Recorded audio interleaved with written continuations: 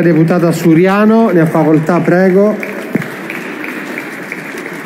Presidente, questa discussione e la conseguente votazione delle risoluzioni arriva troppo tardi. Abbiamo redatto una risoluzione in cui chiediamo precisi impegni al Governo, chiediamo di garantire la sovranità di Kiev ma impegnarsi al tempo stesso al rispetto degli accordi di Minsk, per esempio.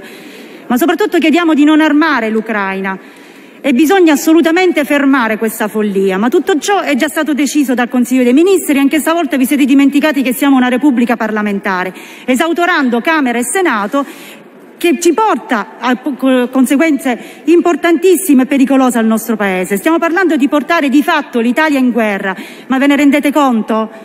Il mio e il nostro voto sarà un chiaro e convinto sì alla pace e no alla guerra. In questi giorni stiamo assistendo a uno stravolgimento del nostro vocabolario. Da più parti ci si appella alla pace, ci si piazza davanti alle ambasciate per invocare il dialogo, ma poi si tagliano i ponti della diplomazia e si spinge per la militarizzazione degli scenari. Dei negoziati a Gomel ieri tra Russia e Ucraina qualcuno ne parla? Come stiamo sostenendo questo dialogo?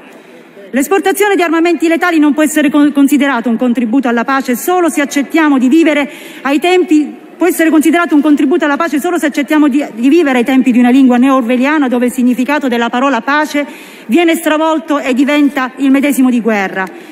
La nostra Costituzione veta all'Italia di ripercorrere la corsa agli armamenti, nella convinzione che armi chiamano armi, guerra chiama guerra e solo la pace chiama la pace. L'Italia ripudia la guerra, eppure ci apprestiamo a inviare armi all'Ucraina. E il fatto di non trovarsi solo in questa isteria collettiva non è certo un sollievo. Il primo ministro tedesco Scholz parla di riarmo della Germania promettendo di raggiungere il 2% del PIL delle spese militari, come da diktat della Nato. Il primo ministro polacco parla della necessità di raddoppiare le spese militari. La Finlandia, paese che non appartiene alla Nato, annuncia la vendita di armi all'Ucraina. Non dovremmo essere orgogliosi di unirci a questa corsa alla guerra.